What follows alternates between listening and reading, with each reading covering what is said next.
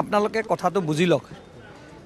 এই কথাটো কালি যেতিয়া ইনভেষ্টিগেশ্যনত সেই হাইস্কুলখনৰ ইনচাৰ্জক যেতিয়া এৰেষ্ট কৰিলে তেওঁ যেতিয়া এৰেষ্টত ইণ্ট্ৰগেশ্যনত তেওঁক তেওঁক ধৰোঁতে তেওঁ অসমীয়াৰ পেপাৰখন লিক কৰা বুলি কৈছে। এতিয়া কালি যদি এই কথাটো অসম চৰকাৰে লুকাই পেলাই পৰীক্ষাটো পাতিব দিলে হয় ভাল হ'ল হয় নেকি?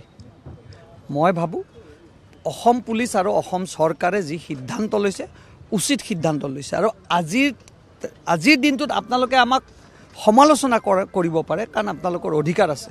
কিন্তু ভৱিষ্যত এই যে পেপাৰ লিক বা সেৱাৰ যিটো সংস্কাৰৰ কথা কৈছিল এইবাৰে এই সংস্কাৰৰ এইডালে লাষ্ট লক্ষ্মণ ৰেখা। ইয়াত মুখ্যমন্ত্ৰীয়ে কোৱাৰ লেখীয়াকৈ আপোনালোকে কালিও শুনিছে যে মই নামঘৰত সোমাই কল খোৱা নাই যদি কথা হয় বা যাকেই যদি উদক যদি ভেড়াৰখীয়া পতা হয় তেতিয়াহ'লে আপুনি মোক কওক ইয়াৰ ব্যৱস্থা কি আছে?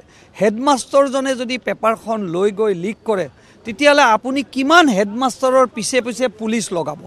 এইটোতো সম্ভৱ নহয়। মই ভাবোঁ যে কালি যিটো কাম হ'ল অনাগত দিনত ভৱিষ্যতে সেৱাৰ এটা সংস্কাৰ হ'ব।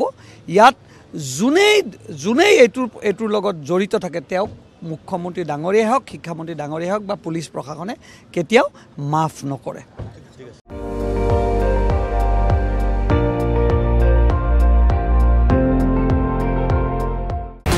আপুনি চাই আছে এন ডি টুৱেণ্টি ফ'ৰ।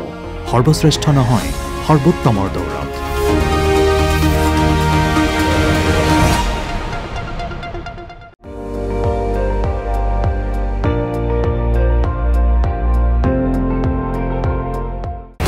আপুনি চাই আছে এন ডি টুৱেণ্টি ফ'ৰ। সৰ্বশ্ৰেষ্ঠ নহয় সৰ্বোত্তমৰ দৌৰত।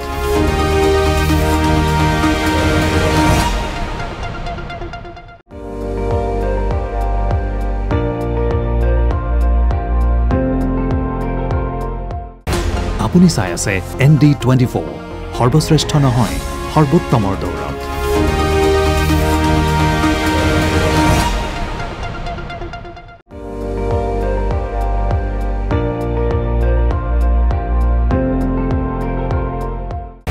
আপুনি চাই আছে এন ডি টুৱেণ্টি ফ'ৰ।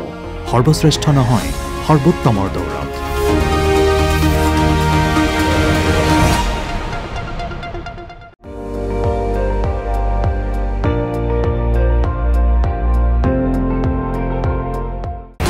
আপুনি চাই আছে এন ডি টুৱেণ্টি ফ'ৰ সৰ্বশ্ৰেষ্ঠ নহয় সৰ্বোত্তমৰ দৌৰত।